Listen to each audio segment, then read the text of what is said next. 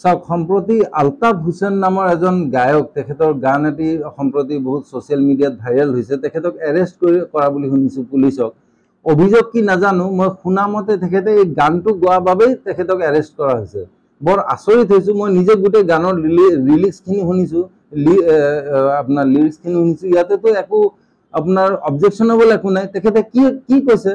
তেখেতে কৈছে কিয় মিয়া মিয়া কৰি থকা? এজনে অপৰাধ কৰিলে গোটেই জাতিটোক ধৰা। ঠিকেইতো আলতাফেতো বেয়াকো কোৱা নাই।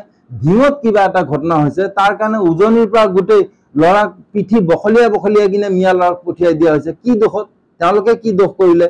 তাৰপিছত তেওঁ কৈছে যে অসম তোমাৰ বাপেকৰ নেকি খালি মিয়া খেদিব খোজা? এই প্ৰশ্নটোতো মোৰো এটি প্ৰান্তীয় জনগোষ্ঠীৰ সদস্য হিচাপে মোৰ এইটো প্ৰশ্ন যে অসম কাৰো বাপেকন নহয় কাৰোবাৰ বাপেকন নেকি? যে মিয়া মিয়া চিঞৰি থাকে সকলো সময়তে। অসম হৈছে অসমবাসী প্ৰত্যেকজন ভাৰতীয় কেৱল অসমবাসী নহয় প্ৰত্যেকজন ভাৰতীয় নাগৰিকৰ সম অধিকাৰ আছে। এইটো কনষ্টিটিউশ্যনে দিয়া হয় কি নহয়? ইয়াতে সি অসমীয়া হওক বঙালী হওক মুছলমান হওক হিন্দু হওক বৌদ্ধ হওক আৰু কিবা হওক গোৰ্খা হওক হয় কি নহয়? সম অধিকাৰ আছে। গতিকে আলতাফ হুছেইনেতো একো ভুল কথা কোৱা নাই। তেখেতে লাষ্টত কি কৈছে? শংকৰ আজান লাচিতৰ এই দেশ জাতি ধৰ্ম ভাষাৰ মহাসমাৱেশ। ইয়াতকে কিবা ধুনীয়া মেছেজ হ'ব পাৰে নেকি? ইয়াতকেতো বেলেগ একো ভাল মেছেজ মই দেখা নাই। হা তাৰপিছতো তেওঁক ধৰা হ'ল। ইয়াতে এটা কথা এটা লাইন বহুতে অবজেকশ্যনেল বুলি ক'ব পাৰে। সেইটো হৈছে মিয়া জাগিলে নিজৰ নাম পাহৰি যাবা। ইয়াতে কিন্তু গায়কজনে কোনো নিৰ্দিষ্ট এজন মানুহ নাই বা নিৰ্দিষ্ট এটি জনগোষ্ঠীক উদ্দেশ্য কৰি কোৱা নাই। সেইটো কোনোবাই নিজৰ পিঠিত কেলে সানি লাগে হয় কি নহয়? মিয়া জাগিলে নিজৰ নাম পাহৰি যাবা।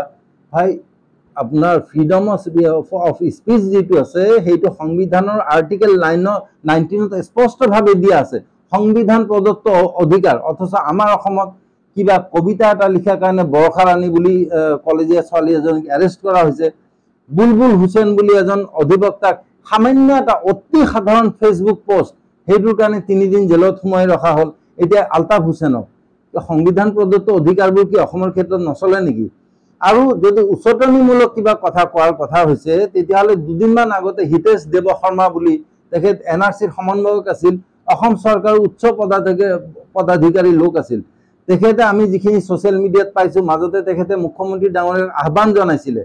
ছ'চিয়েল মিডিয়াত পাইছোঁ মই নিজে সেইটো দেখা নাই। হা ইয়াৰ স্ক্ৰীনশ্বট দেখিছোঁ। তেখেতে মুখ্যমন্ত্ৰী ডাঙৰীয়াক আহ্বান জনাইছে যে আপুনি ছোৱালীসকলৰ কাৰণে স্কুটি স্কিম মইনা স্কিম এইচব বাদ দি কিনে সংখ্যালঘু প্ৰধান অঞ্চলত ছোৱালীসকলৰ মাজত পইণ্ট টুৱেণ্টি টু বৰৰ পিষ্টল দিবলৈ আৰম্ভ কৰক। এইটো কি? এইটো বস্তু চৰকাৰে দেখা নাপায় নেকি? মুখ্যমন্ত্ৰী ডাঙৰীয়াৰ চকুত নপৰে নেকি? এইটো বস্তু পুলিচৰ চকুত নপৰে কেলে? তেখেতে কেলে এৰেষ্ট কৰা হোৱা নাই? বিৰুদ্ধে কেলে চুমতে এজাহাৰ ৰুজু কৰা হোৱা নাই? আৰু বেলেগটো বেলেগেই আমাৰ মুখ্যমন্ত্ৰী ডাঙৰীয়া আমাৰ চবৰে মুখ্যমন্ত্ৰী হয়।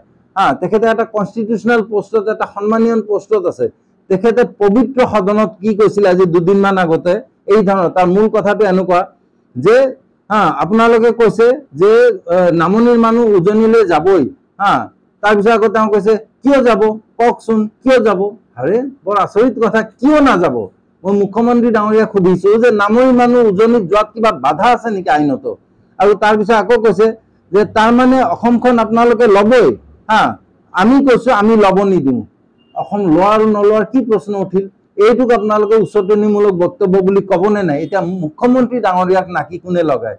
আজি মই এইখিনি কথা যে কৈছোঁ কেমেৰাৰ সন্মুখত হয়তোবা আজি কালি ৰাতিয়ে মোক পুলিচে উঠাই লৈ যাব ৰাতি বাৰটা বজাত। হয় কি নহয়? গতিকে এনেকুৱা এটা ভয়াৱহ পৰিস্থিতিত আমি বাস কৰিছোঁ। চাওক আমি যদি সংবিধান প্ৰদত্ত ন্যূনতম যিখিনি হেৰি আছে কি কয় অধিকাৰ আছে? সেইখিনিক যদি আমি প্ৰশাসনে আমাক নিদিয়ে নাইবা প্ৰশাসনৰ মুৰব্বীত থকা কনষ্টিটিউচনেল পোষ্টত থকা লোকে যদি কিছুমান এনে কিছুমান মন্তব্য কৰে যিটো নেকি সমাজৰ পক্ষে হানিকাৰক সাম্প্ৰদায়িক বিষ বাষ্প ছটিয়াই সেইচব ক'বলৈ যদি বন্ধ নকৰে তেতিয়াহ'লে আমাৰ ভৱিষ্যত অন্ধকাৰ এই কথা আমি বুজা উচিত। গতিকে মই আশা কৰিছোঁ যে অসমত এই সমস্ত হিন্দু মুছলমান হিন্দু মুছলমান যিচব কথাবোৰ চলি আছে এইচব বন্ধ কৰা হওক। আৰু মুখ্যমন্ত্ৰী ডাঙৰীয়া এই ক্ষেত্ৰত আগভাগ লওক। আপুনি বিচৰা বাতৰি পাব কেৱল নিউজ এইটিন এপত। নিউজ এইটিন এপ ডাউনলোড কৰিবলৈ স্কেন কৰক এই Q R code Google play ষ্টৰতো পাব এই নিউজ এইটিন এপ